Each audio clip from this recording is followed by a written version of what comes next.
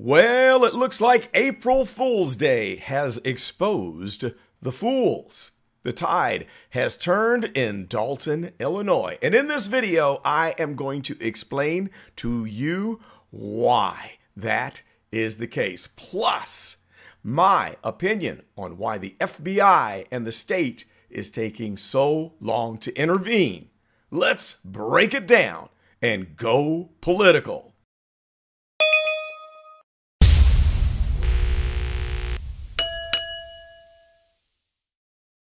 Welcome back to the Go Political channel. This is Carlton Flowers, your host. And today we are going to cover the monumental developments taking place in the city of Dolton, Illinois at the regular board meeting, which occurred on April Fool's Day, April the 1st, 2024. Now, if you have been following the drama with the Reign of Terror by Tiffany Henyard, the resident mayor of the city of Dolton, you need to check the links in the description and get caught up because things are coming to a head. So, during the time that they were building up to this meeting, we saw police barricading the streets, trying to deny the citizens access to City Hall while locking the doors and only allowing seven people in at a time where they had to pass through metal detectors and be patted down. So there was a huge crowd that had amassed. It was a planned protest of what is going on with Mayor Tiffany Henyard and her corrupt city officials that are on her administration. And they, I guess, thought that they could thwart the effectiveness of the protest by disallowing access to a public place that citizens pay taxes for to participate in. Pretty sad. Well, the good news about this meeting is that the Board of Trustees are finally playing 4D chess. Up until now, we have seen the board members, the four trustees, who are the honest trustees who have the best interest in mind of the citizens, we've seen them constantly manipulated and gaslighted by Mayor Tiffany Henyard. But this is the first board meeting that has occurred where they did not take the bait, kept themselves under control emotionally, and actually made the best move in this game of 4D chess that they have to date since the mayor was elected. Now, as we dig into this, I'm going to be showing you some footage a little bit at a time, and then I'll give you my commentary and try to catch you up to speed and boil this all down. And then at the end of the video, I'm going to share my insight about what's going on. And I'm going to also explain to you why it is taking so long for the state the FBI, for the ruling authorities to step in and intervene. A lot of people have said up until this point, make this make sense. And you see a lot of people in these board meetings stating the same. Residents and even members of the Board of Trustees, make this make sense. Well, in this video, I am going to help you to make sense out of this situation by exposing the roots and then you will see that this is just a microcosm of what we see happening every day in our federal government. All right, so let's jump into this first video. And the first video, I might mention that one thing that we constantly saw throughout this entire meeting were threats by the captain of the police department, uh, Mr. Lacey warning the crowd that he would end the meeting if there was any clapping or any outburst, looking for an excuse to stop the meeting. I didn't think this meeting was even going to finish because I thought he was going to shut it down. But let's check out some of these claims from Captain Lacey about shutting down the meeting due to the credible threats. If there are any outbursts, if there are any clapping, or anything that is, if we get another credible threat, the meeting will be closed. All right, that's a bunch of complete nonsense, in my opinion. But let's take a look at some of the credible threats as the crowd is having a peaceful protest outside. And I might mention that during the meeting, when you're watching the video from within the board meeting, you could hear the crowd chanting outside. And it was an amazing display. It was an amazing and effective protest that stayed peaceful through the duration of the evening. Let's look at a news report from NBC5. Ask Dolton residents, and many will say the bi monthly municipal meetings run by Mayor Tiffany Henyard have become a regularly scheduled spectacle. The increasingly irate residents arrived plenty early for the first of the month meeting. Village residents clamored against the double doors, tussling, and then navigating a security screening for a highly coveted seat at a public meeting where items like unpaid bills and payroll were supposed to be the topics of discussion. Mayor Tiffany Henyard took her seat on the dais to preside over the board meeting. Now, here's something that I thought was very interesting as I was watching the board meeting. I noticed that when the mayor announced the time for public comments, she stated that the residents had two minutes to voice their concerns. The standard time up until this point has been three minutes. But in an attempt to thwart the citizens, she cut the time from three minutes to two minutes. So clearly, their civil rights are being violated, and there's no regard for their freedom of speech.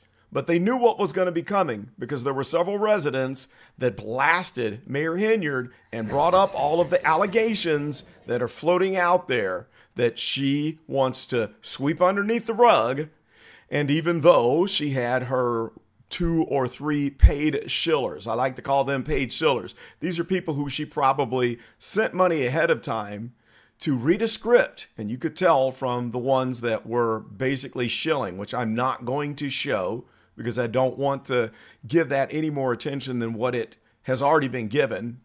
But the paid shillers were there to make her look good, but the citizens were coming out with guns blazing bringing up the allegations that are hanging out there in the air to this date.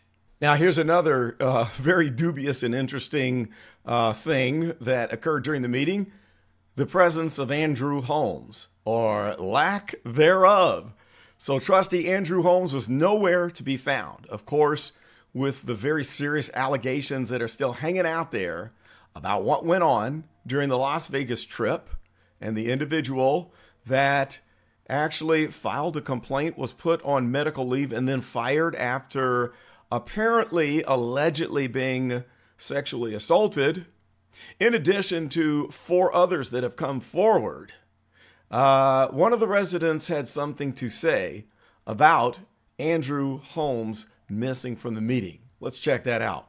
Number two, Andrew Holmes in his absence. Maybe he's in the back listening. The nerve of you to sit in the seat as a trustee here with the allegations. The people put you in the seat to serve as a trustee to the residents, not to the mayor. You say you're an activist of law enforcement. Well, I was an officer in the trenches for 25 years. That meant doing the work, not talking the talk, not looking for a camera at every turn.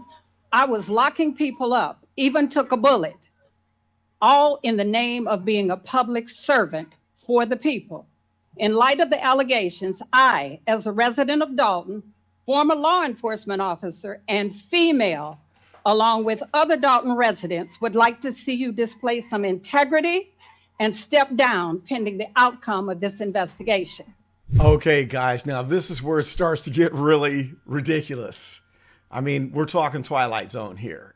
As this resident mentions the fact that they have been violating their First Amendment rights. And then Lacey comes back with another threat to shut down the meeting. Check this out. You just cannot make this stuff up. All right. All right. Um, next part. One more time. I'm, I'm sorry, Madam Mayor. Oh, go ahead. One more time. I am clearing the room. Okay. Oh, okay. Ms. Avant, no, they don't. When it's a safety issue, it falls under the police department.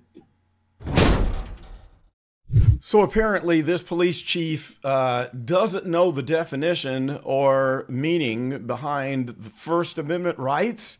But it's interesting to hear one of the residents have to step forward and call out the city attorney for not making it clear. Let's check out what she has to say.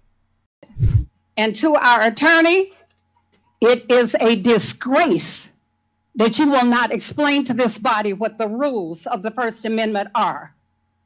Total violation, so continue to get your check. So before anybody can say, can this thing get any worse? It did get worse.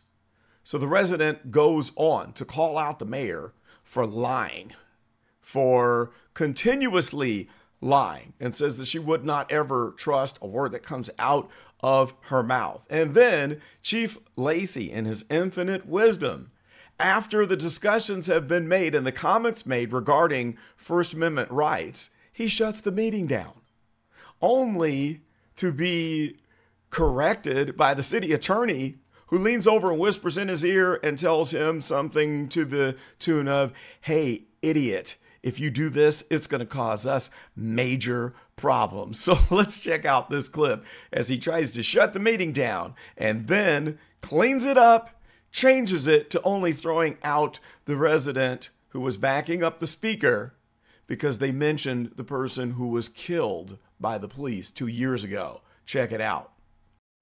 Ladies and gentlemen, unfortunately, the meeting is now closed down. We need you guys to move to the door. Okay. Yeah, okay, uh, just, hey, Lieutenant, Lieutenant, just the one that's making the ruckus, just the one that's making the ruckus, escort him out. Now we get to the piece de resistance. This is where the tide officially turns in favor of Jason House and the other three honest trustees who up until now have not been able to fully take control of the situation. Now, I will tell you this that it was a major win in court when they were given access to the bank account records as um, commanded by a judge. So that was a major move in taking control of the situation as the mayor runs the city budget into an incredible deficit of about $8 million. But here in the end of the meeting, what you're about to see is the turning point of this entire situation. And there's a, th- a few things that I want you to notice in this video clip. This is going to be a four minute clip. You can fast forward through it if you want, but I want you to see it in its entirety to take note of these specific things. First of all, you'll notice that Jason House calmly, calmly brings up his point about the fact that the residents have a right to be in a larger place that would be safer and calls for a vote to postpone the meeting and shut it down. So he moves to shut the meeting down after several threats and failed attempts by Chief Lacey. It's amazing how it played out this way. Now, the other thing I want you to take note of is none of the other trustees had any emotional responses. And Clerk Key calmly calls for the roll.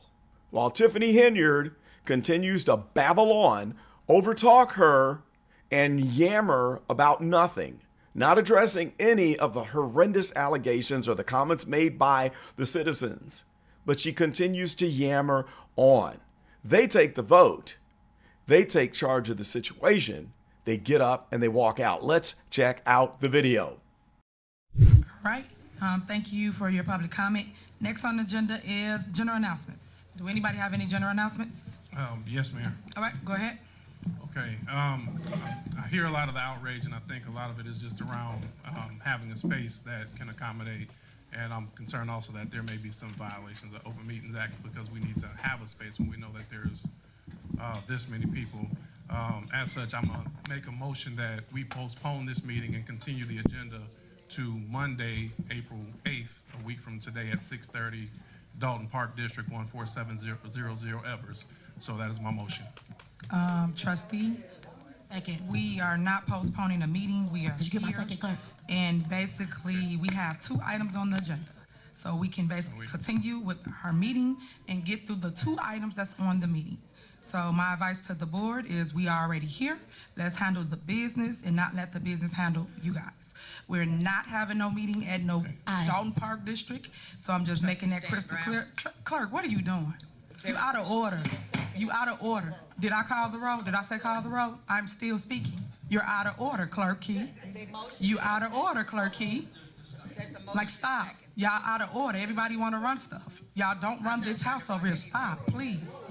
So, as I was stating, we need to continue with the business. We are here. People came to a meeting to hear we have been doing in our village. The department heads, the lawyer, everyone's to call here. the vote. So I'm asking for you guys to sit here and to deal with what's going on. Trustee Tammy And that's the problem that we have. Now, Wonder why we have dysfunction? This is the reason. So Trustee tr- Belcher. if y'all walk out, y'all walk out. We got business to handle. At seven fifty-eight. Okay. All right. So go ahead. Go ahead. Handle your business, and we gonna handle ours.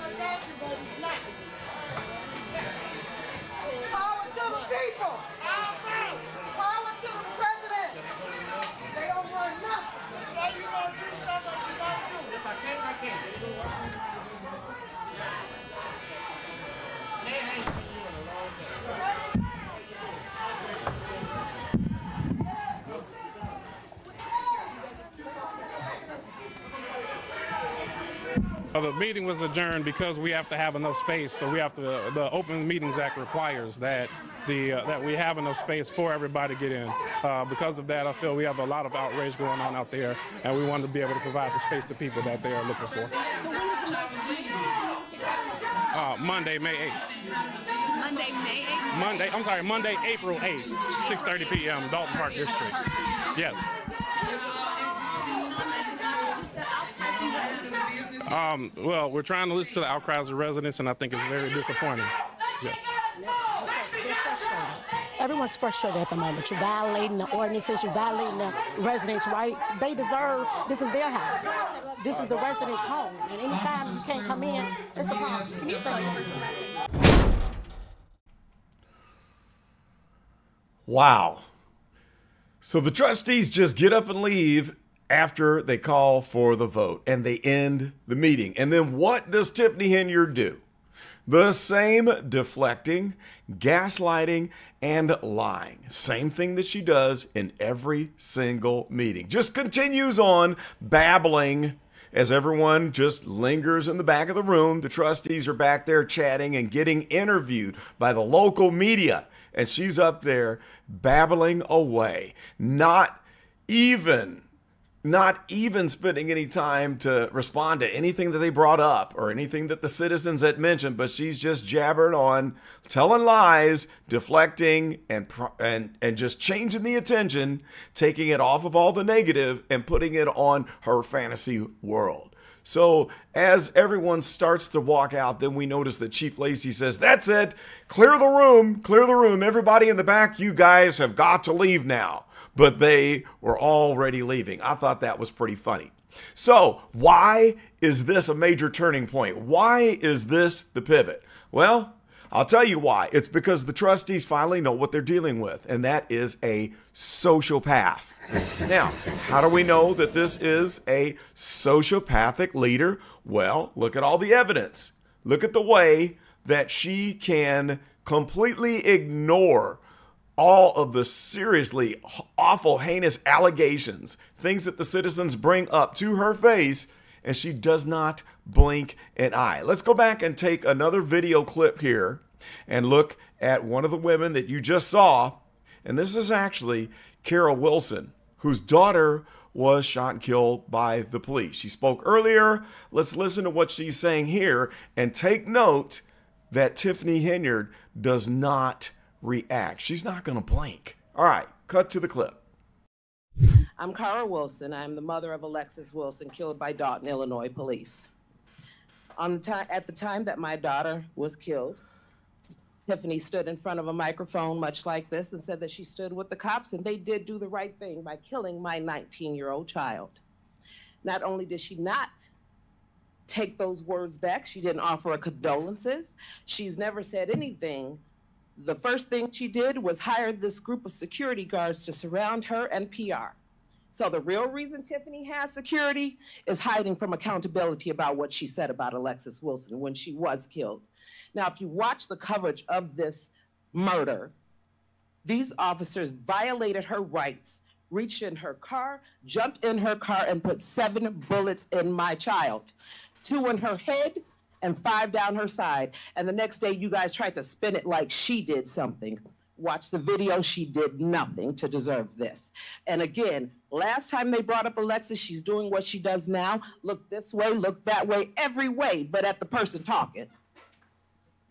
You don't give a damn, and you never did, and you never acted like it. She called out a whole press conference to call my daughter a criminal, and, and Homewood Flossmoor graduate with no criminal record.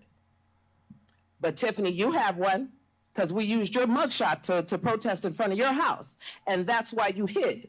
That's why you have security. So let's tell the truth, which I know you're incapable of. I wouldn't trust this woman if she stood on a stack of Bibles and had her tongue notarized. Not a damn thing she says comes out her mouth is true.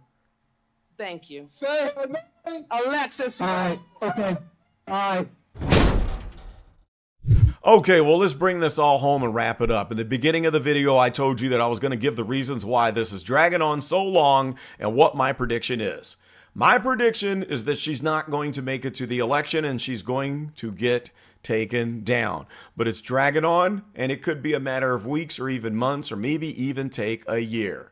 So the question is why are the authorities not taking her down right now? Why do they have to watch millions of dollars being wasted while she goes bananas instead of putting this woman in jail and saving Dolton? Well, they're not going to save Dolton. Dolton is going to have to save themselves.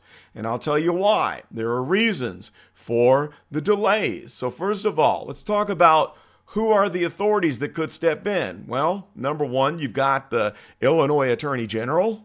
Okay, they investigate allegations of corruption, misuse of funds, civil rights violations. You have the Illinois State Police.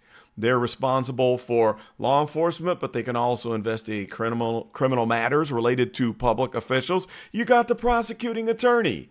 The state's prosecuting attorney can bring charges against individuals who violate the law. Okay. Federal authorities, you got FBI. We already know that they have started to investigate. You got Illinois Department of Human Rights that looks into, say, the sexual abuse allegations that we know that went on during the trip. But why is it taking so long? Well, now, there's a few simple reasons, then there's one major reason. Simple reasons is because investigations are complex, very complex. When you're investigating corruption, financial mismanagement, civil rights violations, it takes time because they got to gather evidence. They have to interview people and make sure that they've got it right because they're intervening in a locality where they aren't. They don't reside there. So they got to get the facts and find out what's going on. Then you got resource constraints. They have to divvy up the money that they spend across the board for all the cases that they're examining. They can't dump all of their money and human resources just into what's going on in Dolton. It's like, hey, take a ticket, sit down, wait in line. Okay? Um, you got legal challenges uh, the legal battles, like whenever they did the recall vote and they messed up and did not abide by the proper procedures, and it got turned over by the idiots. I mean, by the uh, Illinois Supreme Court. I believe it was the Illinois Supreme Court. Um, then you have bureaucracies. Anytime that you're dealing with a bureaucracy, you're talking time. Okay? Navigating through all the legal, legal processes, the proceedings, the administrative hurdles will slow everything down. And it takes a lot of public pressure and outcry to get these agencies to move. But what's the biggest problem? Well, the biggest problem is you voted her into power. Biggest mistake they made, not vetting this person before electing them as mayor. Now, one thing Tiffany Henyard says that is true is, I'm a black woman in power, in power. well, she is in power. And when you elect a mayor, you're handing them your life. You're handing them the reins where they can do great things and serve the community, or they can become an evil, evil regime and rule like a dictator.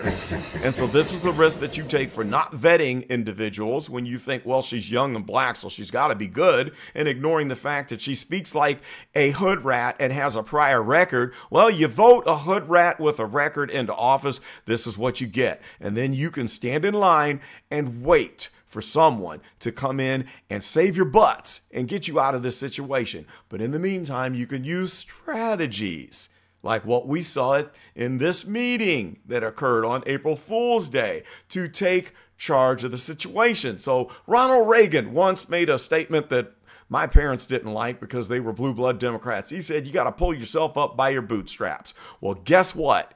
You're going to have to do that right here and right now because nobody else is going to pull you out. One of the biggest reasons is you're in the wrong political party. Yeah, you're all Democrats in Dolton what party is the city of Chicago run by? Democrats. What party rules the state of Illinois? That's right, Democrats. What party is the individual that the hood rat went to see in Washington, D.C.? Democrats. Democrats do not like to come up against Democrats. And that's why AG Foxx is not going to prosecute or be so quick to step in and prosecute a fellow black woman. Because on top of that, she's a Democrat. So the politics is going to drag this down.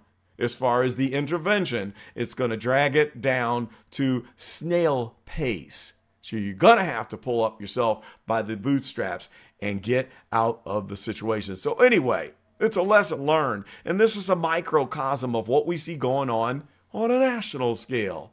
It's just at a local scale. So I'm going to sit back and watch this and continue to report on it. But I'd love to hear your thoughts. Who do you think the blame goes to for this woman running this city to the brink of bankruptcy? What do you think they should do? What's their next move? What's the best pathway to taking away power after they have won this first case, court case, to get uh, control of the bank account? I'd love to hear it. Post it in the comments, and uh, that's about all I've got for this one. This is Carlton, and I am out.